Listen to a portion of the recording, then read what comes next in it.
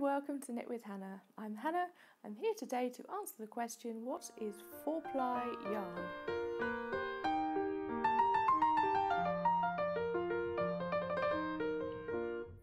Hi, welcome to Knit with Hannah. I'm Hannah. I'm here with Knitting Natter to help you learn to knit the easy way.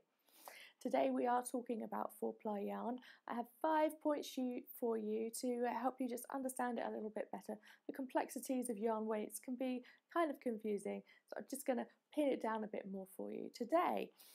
So first of all, before we get going, why don't you subscribe? It will mean that you have a new video in your notifications if you hit the little bell and every week, every Tuesday, you'll be told and reminded there's a new video waiting for you from me.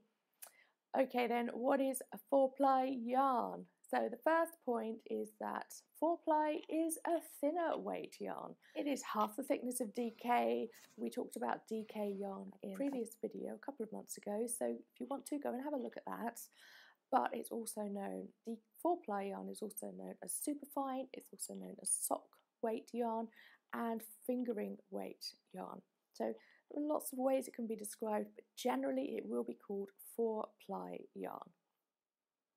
Okay, now let's get confused, shall we? The second point is that four ply was, was used as a term, and it is, still is sometimes, to describe a yarn that is thicker, nearer to the Aran worsted weight yarn. So you want to completely confuse yourself, go and look that up and find out more about it. But you generally won't see it anymore. Just be aware that you can use the other points today to just pin down exactly which four ply weight you're looking at in the yarn shop. Okay, the third point is that four ply yarn generally has between 150 and 200 meters of yarn on each 50 gram ball. That's an easy way to identify it. It's commonly bought for hand knitting in 50 gram balls. Sometimes you can get it in larger spools of yarn for machine knitting, but if you're in a yarn shop for hand knitting, there will be 150 to 200 meters of yarn on those 50 gram balls. Okay, the fourth point is that four ply yarn you will be knitting with between 2mm and 3mm needles. It is so much thinner than the other yarns that you find in the shop that you will need the almost the thinnest needles that you can find.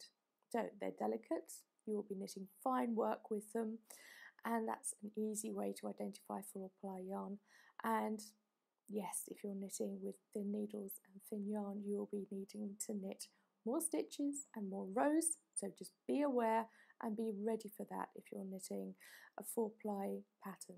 Okay, the fifth point, and I did talk about this in the DK video as well. Just go and have another look and I will um, give you more information about DK yarn in there. But if you stand there and you count the number of plies in a ball of yarn, in a thread of yarn, you will probably trip yourself up because it's an old scale used to be able to count the number of plies and it would be more predictable about which yarn you were looking at. However, if you unravel a thread, a four ply yarn, you are unlikely to find just four plies in it.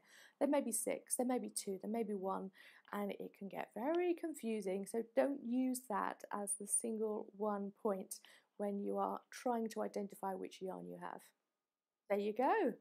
That's that. Four ply yarn is very easy to identify actually. It's thin, it has all of those points that I've mentioned, and you can generally go to a yarn shop and find out which one you want quite quickly.